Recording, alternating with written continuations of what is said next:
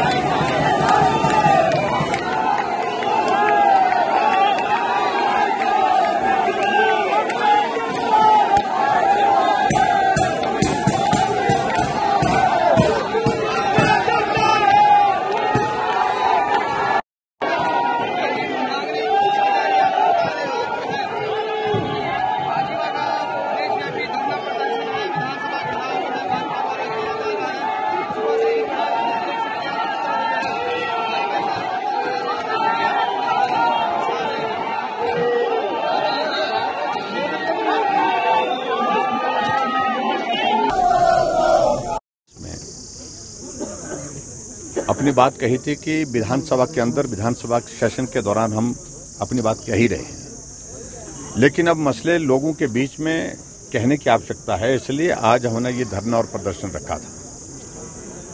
और आपने इस बात को भी देखा कि हज़ारों की संख्या में यहाँ पूरे प्रदेश से लोग आए, जोश में, रोष में, आक्रोश में। और सरकार को उखाड़ फेंकना चाहते हैं, ये लोगों के मन की भावना है।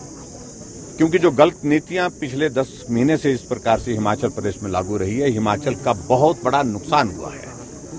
और ऊपर से इस आपदा की घड़ी में जो बंदर बांट कांग्रेस के नेता कर रहे हैं राहत बांटने में, इन तमाम मुद्दों को लेकर के बात करने की आवश्यकता थी। आज हमने बात कही है, अभी विधानसभा के सत्र के अंदर हम जा रहे हैं। और हमारा ये धरना ये प्रदर्शन बहुत सफल रहा। है पूरे प्रदेश से हज़ारों की संख्या में लोग यहाँ पर पहुँचे। क्या माने सर कि अब लोकसभा चुनावों के लिए जो है बीजेपी आगे इस तरह के ये निश्चित रूप से वो तो चुनाव का हिस्सा नहीं है। ये तो कार्यक्रम सीधा सा एक ही विषय पर है कि हिमाचल प्रदेश में पिछले नौ महीने से जब से कांग्रेस की सरकार आई है इस प्रदेश का बहुत बड़ा नुकसान हुआ है। सारी योजनाएँ बंद विकास कार्य बंद बदले की भावना से काम करना लोगों की जिंदगियाँ चले जा रही हैं और लोगों की हत्याएँ हो रही हैं और खनन माफिया चारों तरफ़ है। भ्रष्टाचार की सारी सीमाएँ नौ महीने में ही तोड़ दी और ऐसे में सरकार के खिलाफ आवाज़ उठानी चाहिए इसलिए हमने अपनी आवाज़ उठाई। नहीं दिया जाने जाने नहीं दिया जा रहा है। ये बहुत गलत है। मेरा हमने कहा था कि रास्ता मत रोकिए। हमने जिम्मेवारी ली थी कि हम शांतिप्रिय ढंग से इस प्रदर्शन को करेंगे। हमने किया भी।